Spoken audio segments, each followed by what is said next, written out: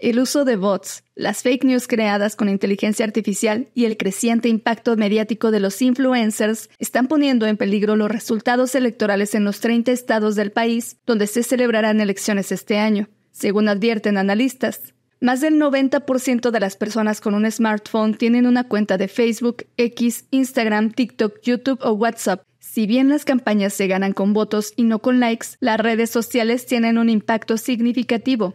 El experto señaló que desde el inicio del gobierno de Andrés Manuel López Obrador se ha observado un aumento de hasta un 400% en el uso de bots para manipular la opinión pública, promoviendo temas que benefician al gobierno.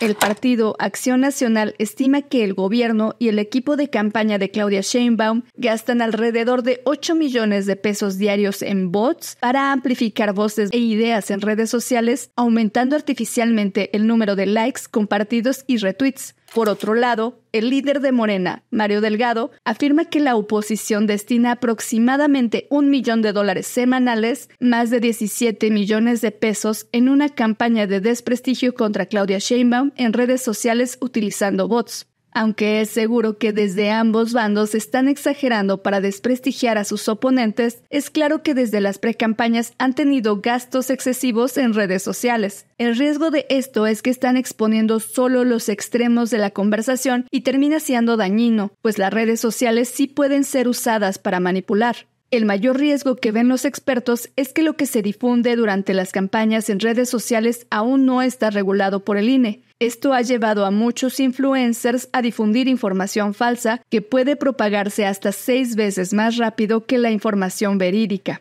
El modelo de comunicación política vigente nació en una reforma político-electoral de 2017, lo cual es un error porque la manera en la que se construye una campaña electoral es radicalmente distinta a como se hacía hace 17 años, señaló Georgina de la Fuente del Observatorio de Reformas Políticas de América Latina de la UNAM. Agregó que la manipulación que se presenta en las redes sociales vulnera el derecho esencial de los ciudadanos a formar su postura política y eventualmente pone en peligro la democracia del país. Las redes no van a ser igualadores sociales como se pensaba en un inicio. Van a ser herramientas donde la desinformación va a imperar y los influencers van a ser fundamentales para ello. Esta situación ha llevado a las empresas a implementar herramientas para combatir las noticias falsas. Meta, por ejemplo, ha implementado ya algunas herramientas para evitar que haya desinformación o campañas de odio, pero no debemos estar esperanzados a que solo sean las empresas las que regulen. El INE también debe tomar cartas en el asunto. Carlos Piña advirtió que los bots serán aún más peligrosos en estas elecciones debido al avance de la inteligencia artificial. Esto dificultará aún más su detección y por lo tanto será complicado determinar cuánto gastaron los candidatos en estas estrategias poco éticas.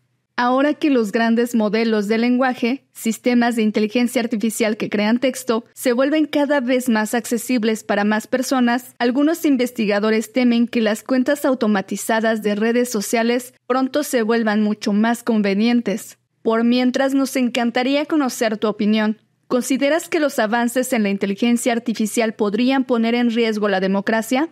¿Crees que el INE debe regular el uso de redes sociales en cuestiones políticas? Te leemos.